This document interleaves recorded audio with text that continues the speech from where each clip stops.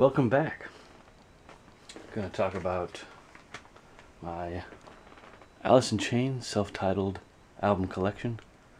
This album is also known as Tripod, so we'll start with the two CD pressings here. Both 1995 original CD pressings. I also have a clear CD case variant.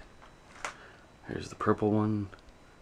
Um, I came across another one that you could see the dogs uh, glowing neon eyes better than this one.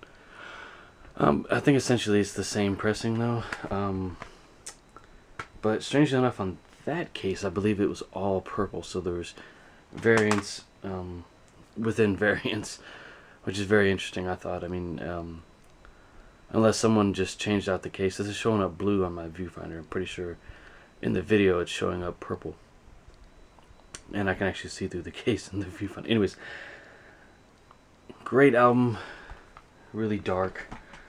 Um, 95 pressing on vinyl, and there's a, uh, I think a few different bootleg copies of it. There's one on white vinyl, there's one on, uh, I think red, but this is an original 1995 pressing, first pressing, uh, U.S. pressing that is. I'm not sure if there was a UK pressing. There probably was, but I've never seen it or even heard of it.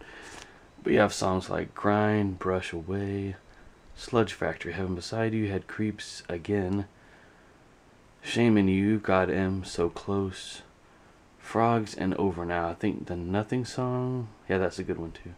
But, um, it's an actual picture of a real person there. I forget what his name was. He, uh, I think he was with a circus or something way back. Um, I think in the late 20s or 30s. But, um, strangely enough, this has not seen an official reissue. I'm surprised Columbia has not reissued this yet. Now, they did reissue uh, Man in the... I'm sorry, uh, Facelift uh, this last year in a... I think it was two LP set at 45 RPMs and then a box set. Not sure if it's analog sound, but from what I heard, like a sample of it on YouTube, it did sound good. Um, so yeah, it was remastered.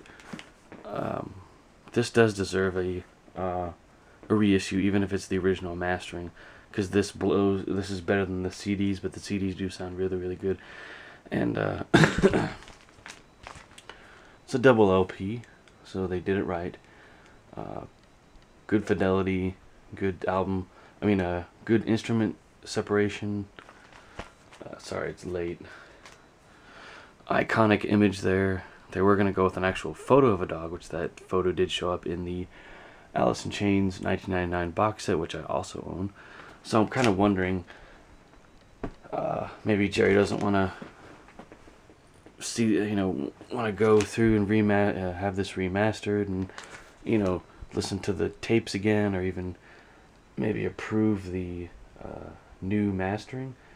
Jerry's more wanting, he wanted to move on from from this era and not in spite or to uh, disrespect his friend Layne. Um, I understand he didn't want to feel the pain of this loss is heavy. Uh, so maybe that's the reason why. And uh, but great album. It is dark.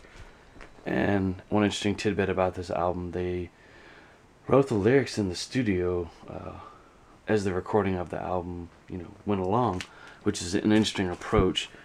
And uh, on that note, Nirvana did the same thing on their early stuff.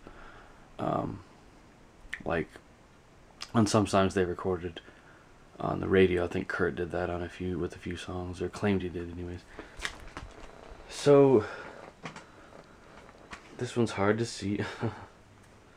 hard to see the uh, track listing, but on all the CD copies I have, all the CDs are neon. But in that other variant that I saw in the store, uh, the disc was actually purple, and I haven't seen that since. But it's probably not hard to find.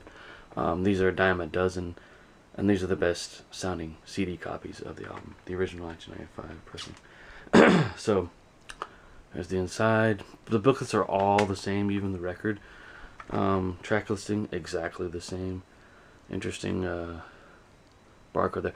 Got this guy on the cheap, but you know, even the uh, newest CD uh, issue of this album sounds good. I mean, interestingly enough, though, the it does sound different than this. This is the best one to get, or even this one. I don't know if they released uh, the original CD and it's like a regular clear jewel case. Not really sure.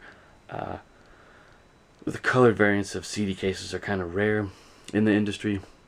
I mean, they put them out, you know, pink and red, uh, neon yellow like this, uh, blue. There's a blue one, and I've shown that before.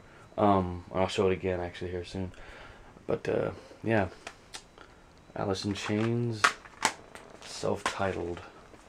So yeah, guys, these are the ones to get. The originals. They're the CDs are not hard to find. The records are gonna be expensive. I don't know how rare they are, or if they're, uh, or if the market is just getting, you know, uh, low on them, so to speak, due to the pandemic. But uh, yeah, that's the video, guys. Hope you guys enjoyed. Come back for another video soon.